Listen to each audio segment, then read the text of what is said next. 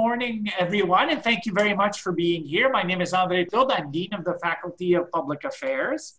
Uh, and thank you very much for joining us here today to learn a little bit more about how, uh, how to be and what it means to be a Carleton FPA students. And to give you some insight into those issues, uh, we have three students here to talk to you about their experiences and answer questions that you may have. So I will introduce all the students first and then turn it over to them. So first, please, I'd like to introduce Crystal, who is a fourth year Bachelor of Communication Media Studies student. Crystal is the incoming president of the Carleton University Filipino Students Association. Eddie is a third year student in the Bachelor of Media Production and Design, and he actually runs a sports blog called 613 Sports. And finally, Ben is also a third year student in the Media and Production and Design program. Ben is co-captain of the Carleton Men's Ultimate Frisbee team. So with that in mind, I'll turn it over to Crystal. All right. Hi, everyone. My name is Crystal.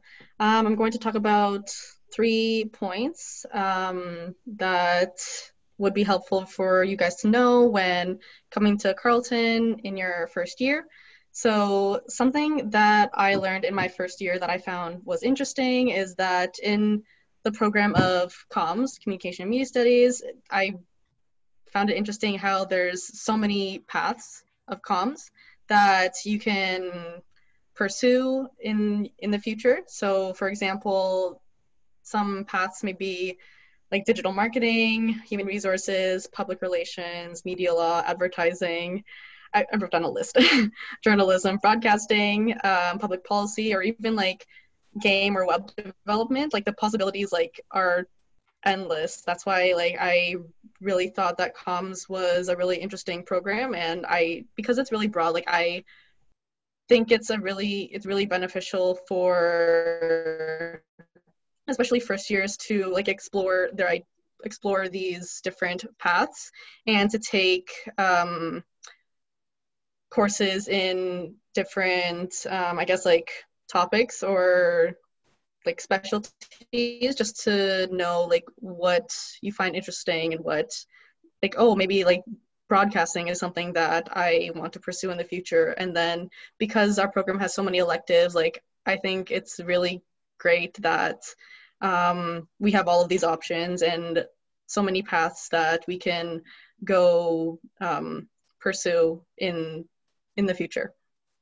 Um, another thing that I wanted to, that I, that I found interesting was um, that our program has the co-op option. So that's, um, you probably already know through like high school, um, but it's, yeah, it's just getting that like hands-on experience uh, within your program and to have that like designation when you graduate as well. So right now I'm in a, my first co-op work term. Um, I'm with like Health Canada and it's, it's, even though like despite it being a virtual like environment. Like it's it's good to like show that you're like present and to take like initiative and to try to exhaust the position as much as you can for like with the employer just because like it, it is sort of like a challenge. So it's just important to i guess show your potential. Um, and then another point that I wanted to, to bring up is like my favorite extracurricular. So as um, Andre already mentioned, I'm the incoming president of the Filipino Student Association at Carleton. So you don't have to be Filipino to join our club, but it is encouraged that you join just like any club um, in general. You meet so many people. There's actually a lot of like opportunities for like networking as well um, and it's it's nice to like I guess as a, a Filipino like it's nice to see like my culture represented on campus, and yeah, I would just still encourage you to like attend or like participate in like events, like club events, whether it be like online or it most likely will be. Sorry. Sorry about that. um, and then the one thing that I wish I knew when I started university was all of the like available resources that are on campus. Like I didn't know that CUSA had like free printing of like 250 pages like for the whole year. Like I figured that out in like halfway through my second year and I was like, oh my gosh, like I really paid money for printing. um, but yeah, like resources like that or even like the counseling services for like mental health, like it's really important to um to have that and to just like self-care and just like check up on yourself. And as well as like the career services which is really important for your career and like developing your um, skill sets and for like resume writing and cover letter um, building it's i find those resources like the most like helpful for me when i um wish that i wish i knew when i started university um, and with that, I can pass it on to Ben and Eddie for their sorry for their um, for their session. Yeah, so my name's Eddie, and I'm a media production and design third year. And really, the first thing you should know about media production design is that it's such an interesting new program. Basically, only three years of it. It basically takes all forms of media Not creation of it, but there's only been three years. There's only been three years of it, but it takes all forms of media production of journalism or photography or even just drawing and it brings them all together as a new kind of narrative. So in the first year, what you're going to do, you're going to end up actually, I don't know how with COVID, but you will be ending up working with the Natural Museum of History, uh, Museum of Nature in Ottawa, working with stuff like augmented reality. And that's the journalism side. So you're going to learn about how different kinds of medias, pictures, and even writing plays a part in this new kind of world. Uh, and as well, you're going to learn some computer stuff. You're going to learn how to create a website through HTML, so which, which is pretty fun actually. So you're going to meet a lot of people with different kinds of backgrounds. What I noticed really fast was that there are people who are good at drawing, photography, writing, and we all came together as wanting to help each other, and it's been really, uh, really fun. Um, and as for like extracurriculars, obviously try to do as many clubs, but for sure, like if you're heading to this, you have some kind of hobby related to to creation, anything, could be music.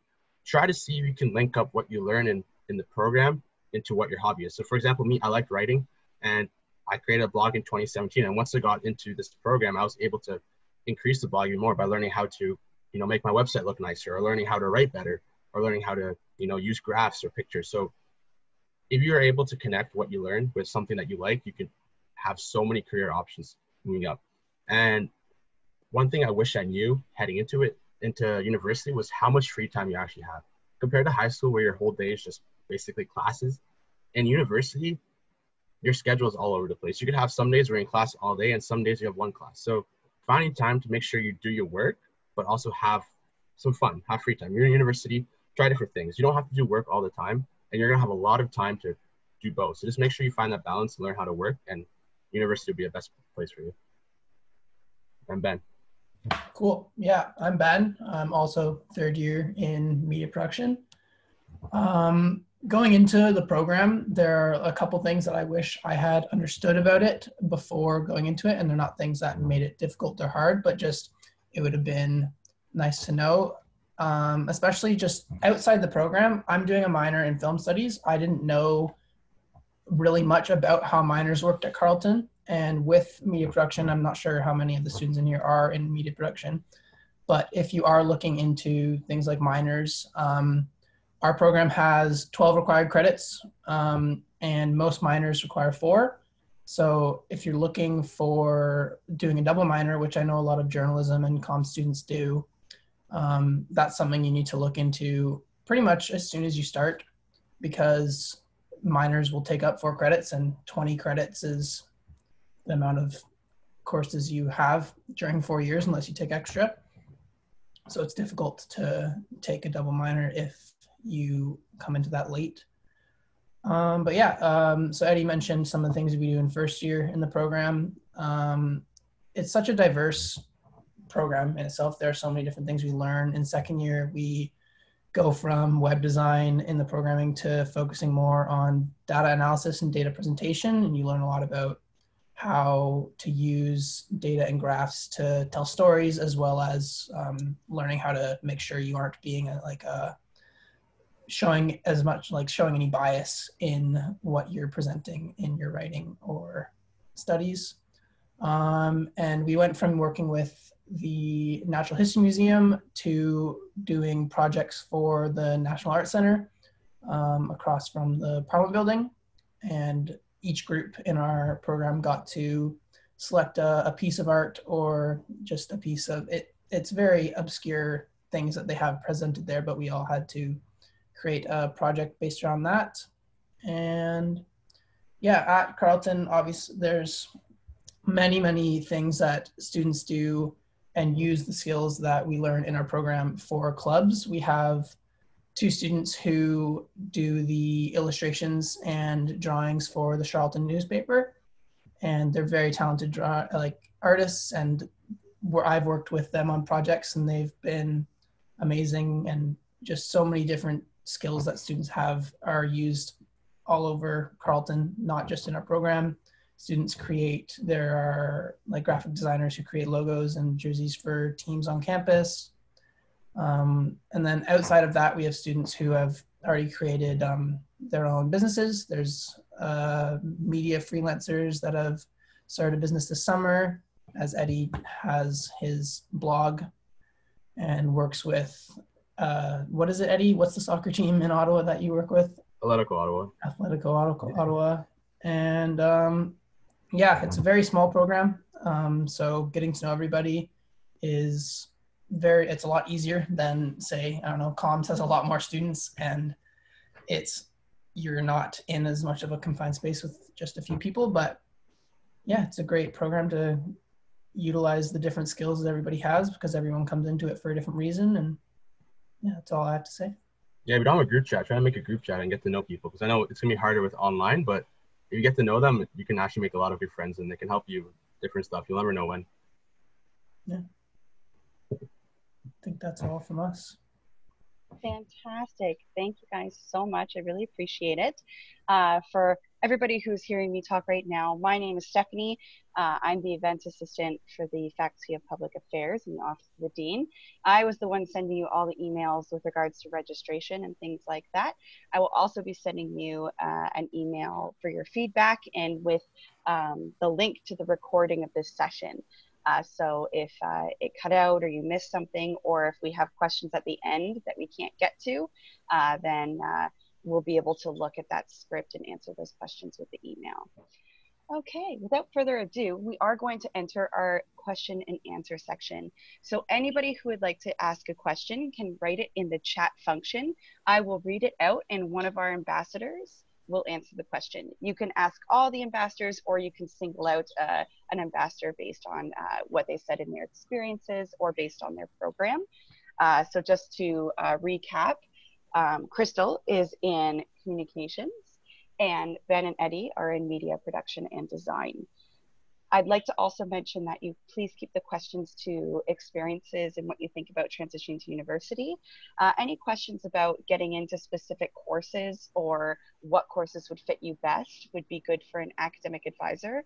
Uh, everybody's experiences are different for university, uh, so definitely utilize your academic advisors on campus.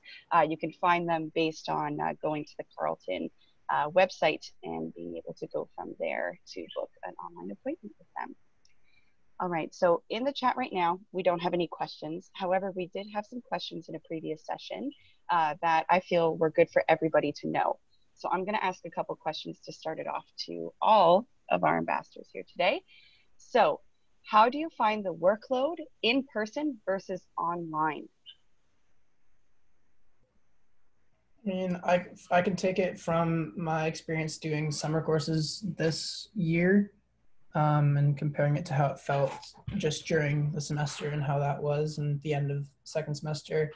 It's, for me, it, it really depends on the environment I create for myself. Um, going into class is, it's very similar to what I like you're used to in high school. You not in the timing, but you're in class, you're doing your work there. That's how it works. And then when you're home, it's just I, I find it really important that you create an environment that allows you to feel like you're in a place where you need to get work done for instance like when i was i had to go home to my family home back in niagara and i felt have it was very difficult for me to get anything done unless i had like I was closed off in a room by myself. And now that I'm back in Ottawa, I feel like I have my own space that I can get work done. So as long as you have the ability to create that environment for yourself, it's doable and the workload isn't too much, but it's very, very, you have to work on managing it a lot more than you do when it's going into class.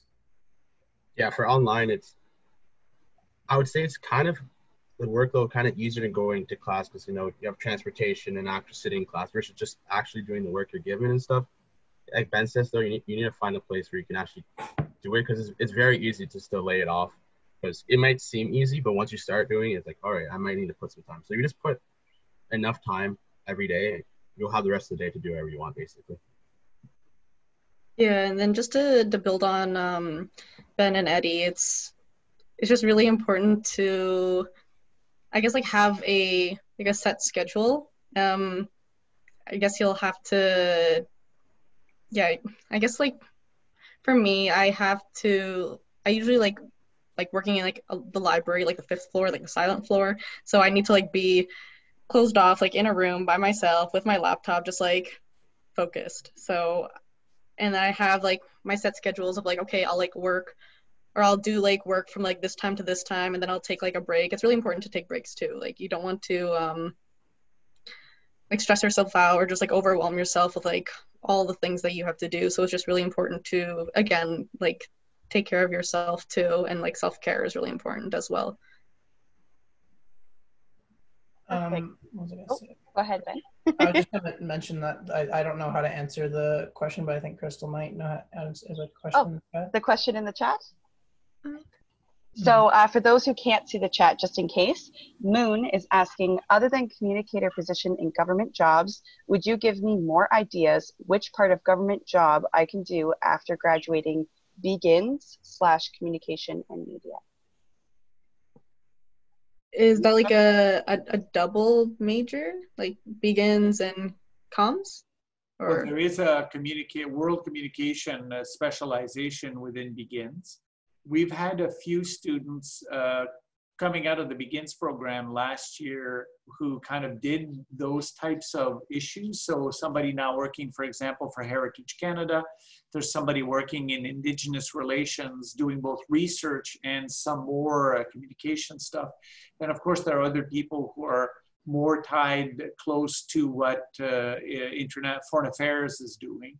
Uh, and so those are the kind of the basic areas where people in government, uh, where some begin students have found employment uh, in government after the degree over the last few years.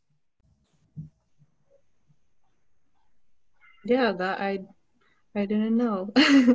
um, but I know that um, what is it?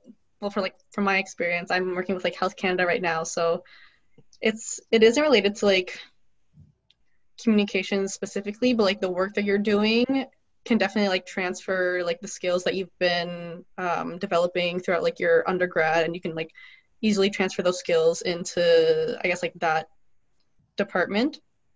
Um, I know some of my friends they work in like I think yeah what Andre mentioned as well as like immigration and policy. Um, uh, there's also what is it? Yeah, public affairs, um, HR as well. There's so many different like departments and like branches within those departments um, that would probably like best fit like the or like intertwine well with um, BGInS and like communication and media studies. And uh, CUSA, yeah, CUSA means the Oh, sorry. That was that was me. Sorry. Oh, okay. Uh, in one of your session experiences, um, I think it was actually Crystal. Uh, you said CUSA about the printing of the pages, and just in case some of you don't know that acronym, uh, CUSA does mean Carleton University Students Association. Uh, so you could find them on the web, and if slash when we're all on campus, they're on the fourth floor at the University Center. And also, if and when we're back on campus, Crystal also mentioned that the fifth floor of the university is a quiet floor for those of you who uh, want that bit of insight and like a quiet place to study. That is the place for you to be. Oh, sorry, it's the fifth floor of the the library. That's oh, did I say university centers? Yeah. I meant the library. Thank you. Crystal. it's a really nice floor. Lots of sunlight. Oh yes. All right, so we don't have any uh, more questions in the chat, but I do have another one for you guys. What are the differences between a lecture, tutorial, and discussion class? Um, for us in MPAD, we have um, we have our lectures and tutorials, which are normally combined into like a three and a half hour a three and a half hour class with a little break in the middle. So the lectures are where we'll have like the prof at the front of the class and they'll be going through their their slideshow or whatever content they have for us at that point. And you learn and then um, you take a little break and then the tutorials are when we do the hands-on things based on what we were taught.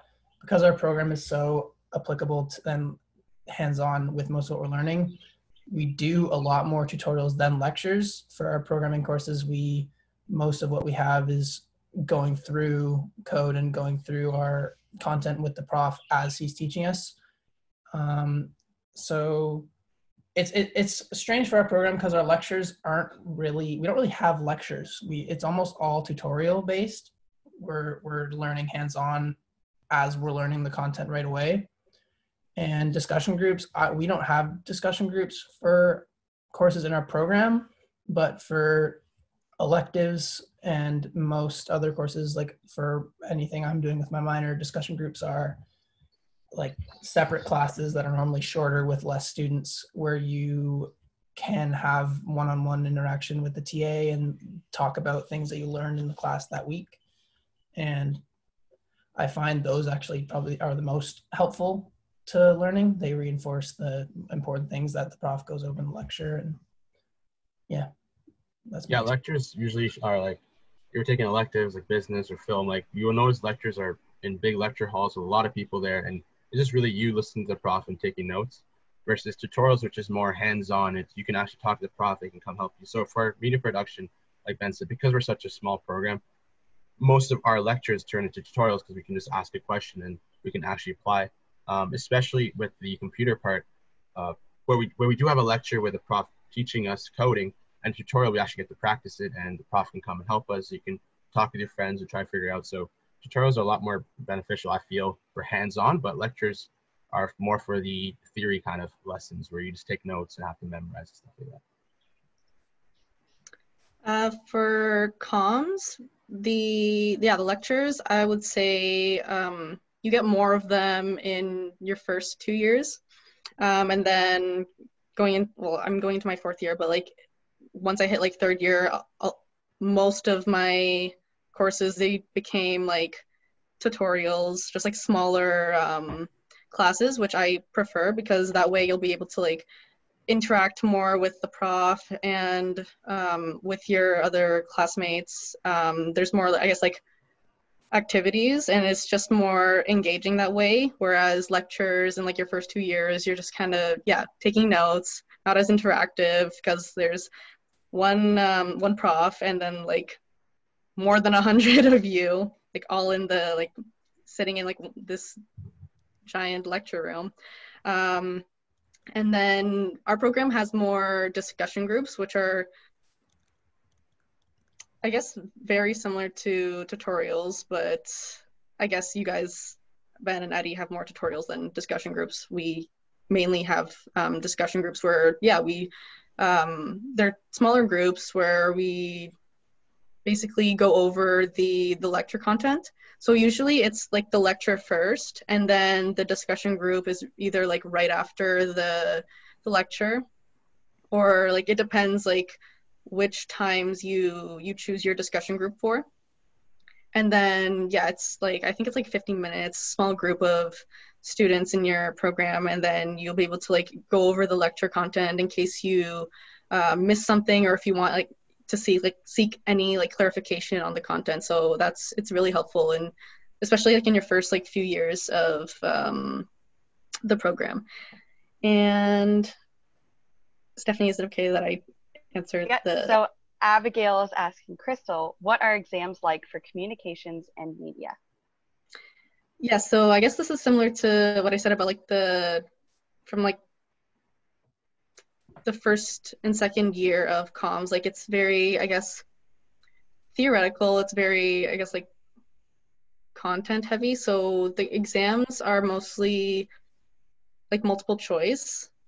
Um, you do get like your short answer and long answer, but I feel like as you go into like your second and third year, it gets more um, open ended. Like you'll be able to like elaborate more on uh, the like the short answers and short answers, long answers, and essay questions. You'll be able to like I guess score more points that way by like further elaborating your points whereas like in first year a lot of the exams were just like multiple choice so you, there was like no room to like elaborate and yeah like just explain your ideas.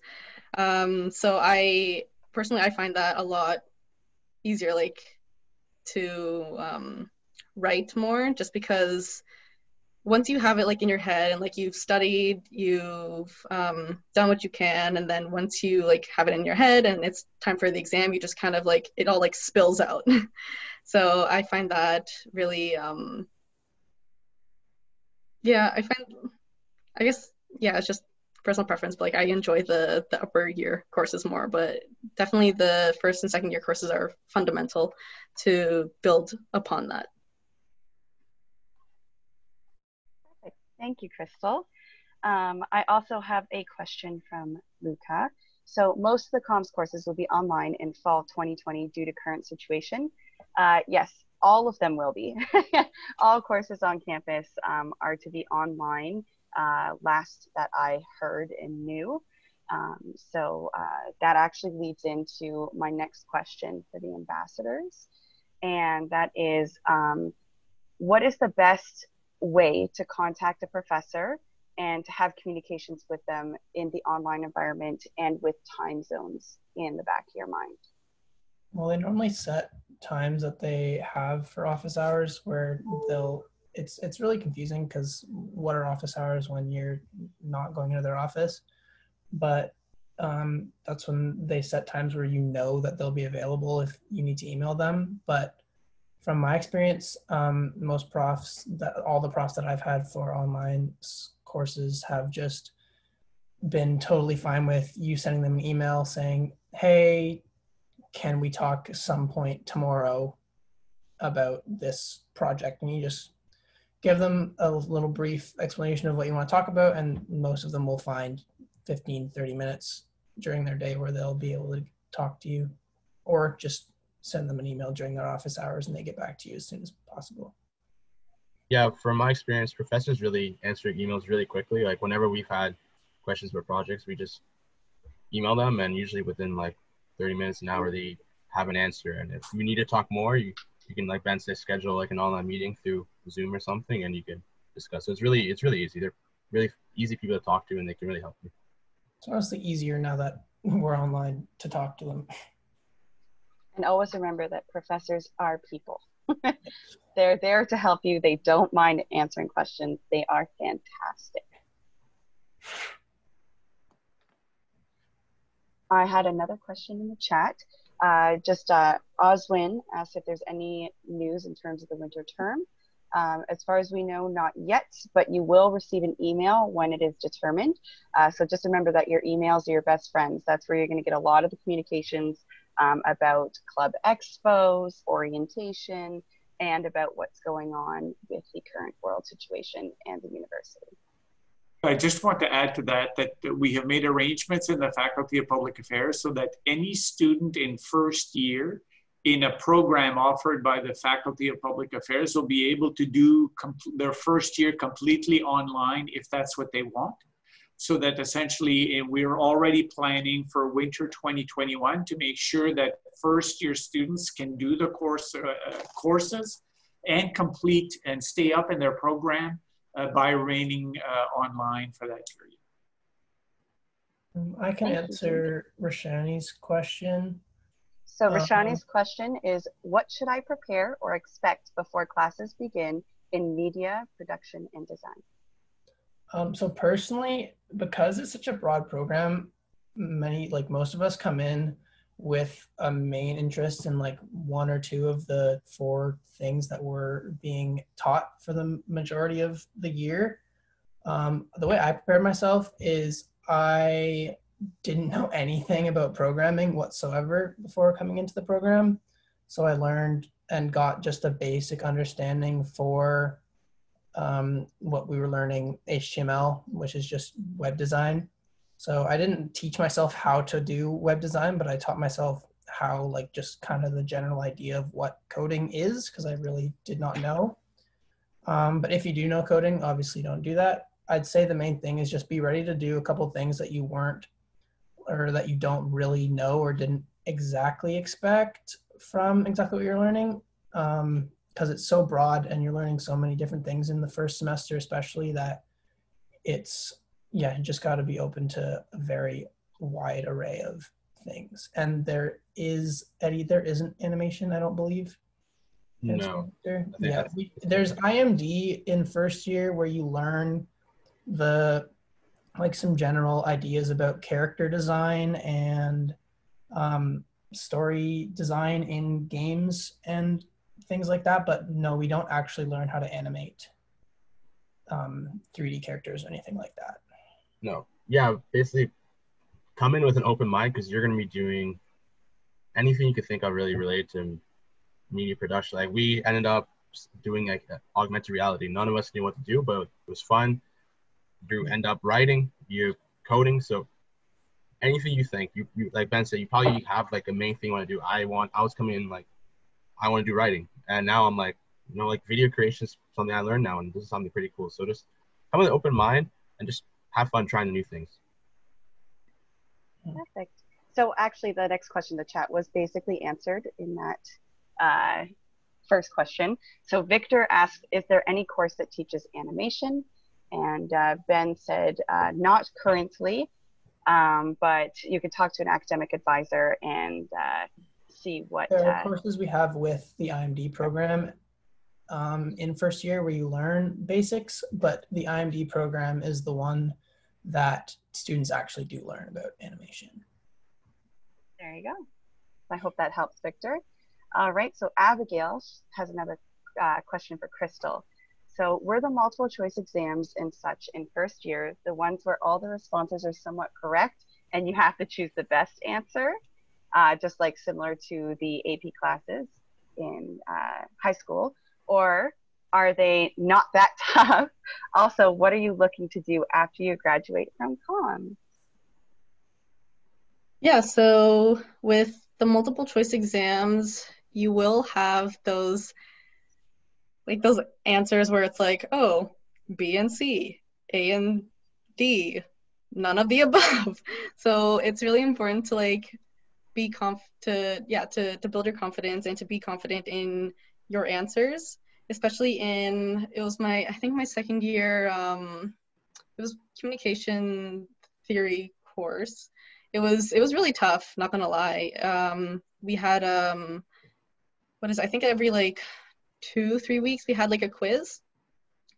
And then, yeah, they were all multiple choice. And then our prof, like, yeah, we had um, options like those. And it was really, really tough. But it's, yeah, it's important to know what you're studying, seek clarification when you need it, go to your prof's office hours. They will help so much. Like, I, I don't know how, I don't know how I would have, what I, what the result would have been if I wouldn't have like asked all those questions. And it's also also good to ask questions. Like no matter like how many questions, like I'm one of those people who just boom, boom, boom. Like I think that's really important to just be confident in knowing your content material.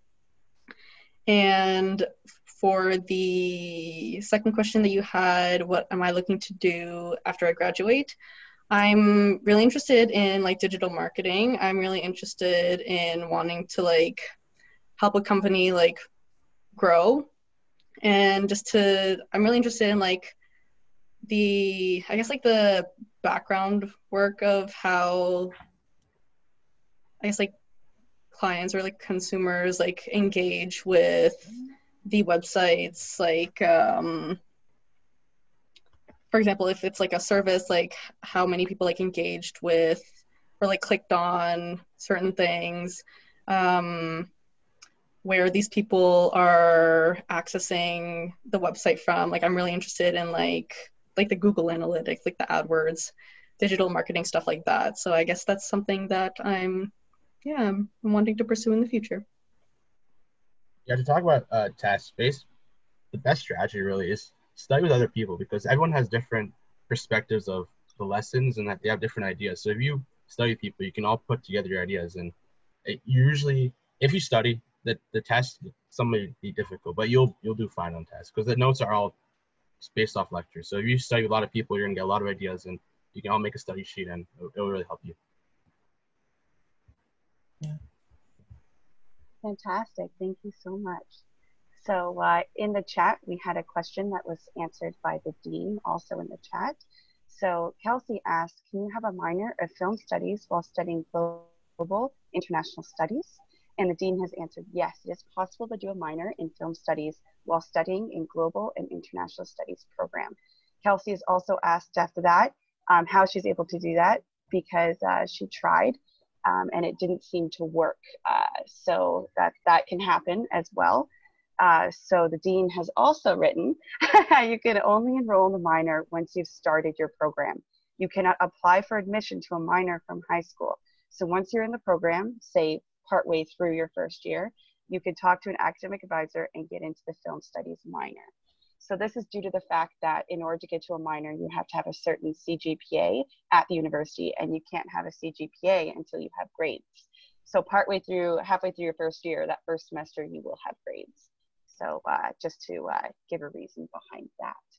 From okay. my experience, because I, I am doing a film minor, I'm not in global international studies, but um, I knew I wanted to do a film minor. So if you take film 1001 in your first semester, if you can, that's what I would say to do. And then you can take second year film courses in your second semester and applying for a minor is super simply you just like change program elements or something on Carleton Central. It's just like a couple clicks and you apply. And when I did it, they came back with a response within a day or two.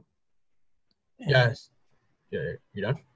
Uh, yeah. yeah. Just yeah. That's it. Yeah. So for whatever minor you want to do, there's you can always look up the list of courses you need to take. So even if you you have to wait till your grades come in to officially apply for the minor, if you take those classes right away, it'll, it'll once you apply for a minor, it'll count. So if you're want to be in film studies, if you take film studies right away, once you do apply for the minor, that film studies credit will, will count for your thing.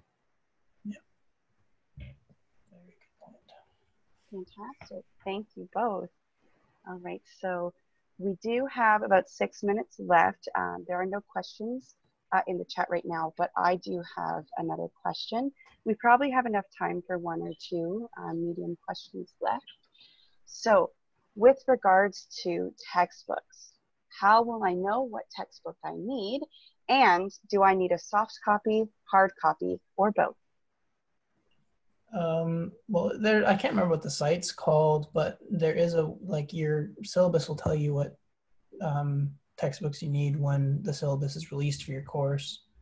And then honestly, it's up to you what kind of textbook you want. If you can find an online copy or a digital copy, which is normally a lot cheaper, and you're fine with that, go for it. If you want a hard copy and want to spend money on that, then go for it. It's it's just as long as you have it and you're able to read it, and it's all you really need.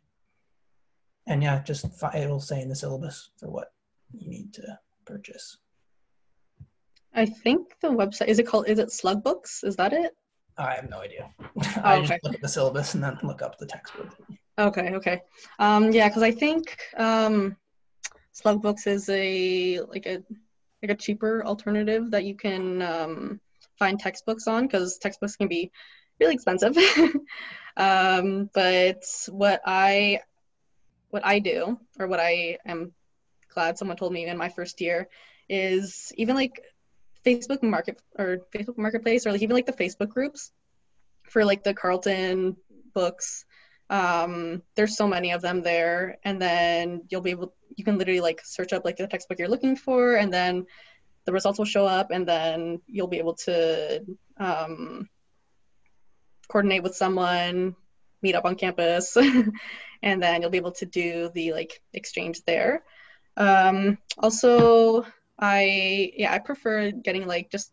I mean, I don't mind using like already used textbooks just because they are cheaper and if i'm able to like read them if i'm able to like still like extract the content from the, those textbooks then th- that'll work like perfectly sometimes in the syllabus um, profs will have the books like the textbooks available on the what is it the library re- reserves desk i'm not sure if that will be available for this. Yeah, they have curbside pickup still for that. Okay. Yeah. Okay, good. Some so, for us and for my like elective courses, if they say like make sure you like wait until like if if they post the syllabus like late-ish or even when they do, I would say email them and ask them what they do in regards to the readings because I've had a lot of profs and it happened in first year where I purchased textbooks and the profs just ended up posting all of the required readings from the textbooks in PDF form on CU Learn. And I spent $60 on something that I just could have clicked on for free. So just ask your profs if it's mandatory to purchase it because it'll say it's a mandatory reading and it's a textbook, but they might just post it for you to read. It's still mandatory to read, but you don't need to purchase it. Mm-hmm. Also, exactly. for textbooks, if you want used ones, there is a store near campus called Havens Bookstore. Basically, it's all the used textbooks, a lot cheaper than than new, and it's they're still good copy, like not like broken or anything. But yeah, you can get them for pretty cheap prices. And and another thing with textbooks is once you're done with them, you can always sell to someone. There's always people looking for textbooks, like Facebook Marketplace or even friends you know who might be taking class. You can always sell it, so you won't be really losing money. Mm-hmm. Fantastic. That is all wonderful advice. Uh, advice that I wish I knew in my first year back in the day for sure. I spent far too much on new textbooks in my first semester and then found out about the different marketplaces and everything. Uh, just a reminder to anybody uh, making any trades, make sure that the trade is um, legit, is safe, and make sure you stay healthy and social distanced. Um, so another uh, student in the chat, Oswin asked if there's any suggestions where to find the PDFs. So we did get a few answers to that. Uh, Miranda in the chat also mentioned that some of the course materials will be posted online or through library reserves. So uh, again, your professors will have those in the syllabus. If they've got a PDF version, they will share it, don't you worry. And uh, uh, a lot of them also give you links to where to look on the library's website. You will get used to using it uh, for sure. And once you get used to it, it's a lot easier. Uh, so don't get too intimidated by how many uh, resources are available on there. And Ben also mentioned that if the professors uh, send out the syllabus late-ish, uh, that would be end of August, early September. The CU Learn courses will be opening up and you should be receiving syllabus. Uh, that was a question from yesterday as well. So he kind of answered that for for me. so that's perfect. Uh, Erica in the chat, for media production and design, what kind of devices and software are needed for the program? And this will uh, be our last question of the day. First thing I know is if you have a MacBook, I'm not sure it's quite good for the programming part of the courses. I know I had friends who had MacBooks and I have MacBook. Yeah. Did it work? But it works. It's just um, for programming because it's a lot simpler on Windows, just in regards to the programs mm-hmm. you have, like Note Notepad, like it's easier. Other like I don't think there's anything you need. The I know that Adobe uh, Creative Cloud. You so like, you need Creative Cloud mm-hmm. for second year for sure, but I know that the profs have been working with Adobe and with the school to figure out how they can get like everybody access to it during class time. I know that while we were in class, there we used for students who didn't want to purchase it, um, used free trials and used um, um, uh, school codes to access it for a short period of time. I did purchase it. I don't regret it. We don't have textbooks for our media production classes, so paying the the student fee for that wasn't a big deal to me. Um, but I know we are looking into like having the programs available for students. But other than that, you just need a computer that has access to, and any computer really does, um, have access to programming software like Notepad, which is free. I have a Mac. I used Brackets, which is also free. It, anything really works. You should get an email uh, before, like a couple of weeks before. It basically will tell you like all like the computer details you need to and programs you might need to download. But once school starts, if the teacher tells you to download something, that's usually when. Like we, we really didn't know what to download. The teacher said, all right, next week we'll be doing this, so make sure to download this program. Um, also for computer, we all work in computer labs. So if your laptop doesn't work, or even if you don't want to use a laptop, you have computers to use that have all the programs already. Um, and Which will be weird this year, but hopefully. Yeah. So for this one, yeah. So but you should be getting uh, an email telling all like specifics of programs and computer specs you should need. And the school has access to everything. Like in second year, we used a lot of cameras and panoramic photo things, but they're the I don't know if it's the journalism school or what actually runs it, but um, the school will give you access to almost anything you need. Fantastic. There was a few other questions within the chat about uh, syllabuses will be released again end of August, beginning September. They will be available on CU Learn. Uh, classes will be through CU Learn and various video conferencing software like Zoom, Microsoft Teams, and Big Blue Button. It just depends on what the professor is using. So with those last questions, I would like to thank you all for joining us today and sticking around for those final three minutes over time. Uh, but it was very helpful for me, as I hope it was very helpful for you. Um, and I wish you all the best in your coming academic year. Great. Thank you very much, everybody. Thanks for being here. See you in different ways in September. Take care.